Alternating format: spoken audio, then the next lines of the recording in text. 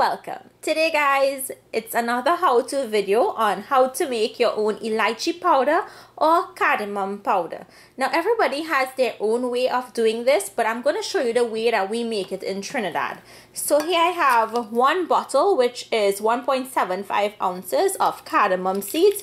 You can find these at any supermarket out here in the US Publix, Food Town, Winn-Dixie any supermarket you name it you can find this even Whole Foods so all you need to make this, you'll need a heavy bottom pan.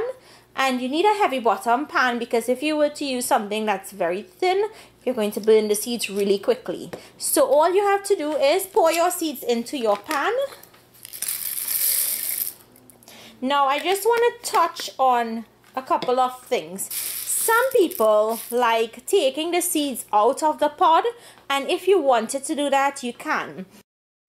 So if you wanted a more potent elaichi, what I would suggest you do is after roasting, put it between two pieces of cloth, crush it, get the seeds out, process the seeds in your spice blender and then you use that.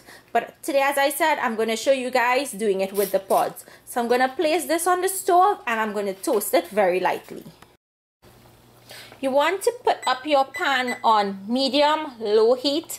You want these elaichi pods to take its time and toast. You don't want them to burn. So just keep stirring it ever so often. It's going to smell very fragrant. I say for about 15 minutes I'm going to toast these for.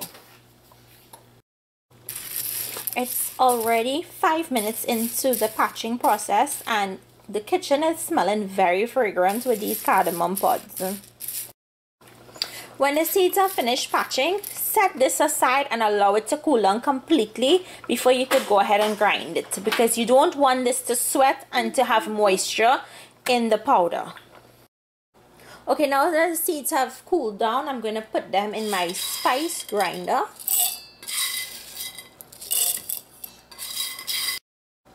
Now I'm just going to cover this and blend it until it's a very, very fine powder. Oh, Guys, if you have a mortar and pestle, like that granite mortar and pestle that I gave you the review for, you can use that. That's how fine you want it to be. You want it to be very, very fine, like powder.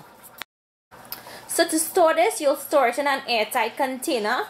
And if you wanted to know recipes to make with this, I will leave some end cards for you all. A couple of them would be Parsad, Kurma, Barfi, Raskala, a lot of Indian desserts and delicacies.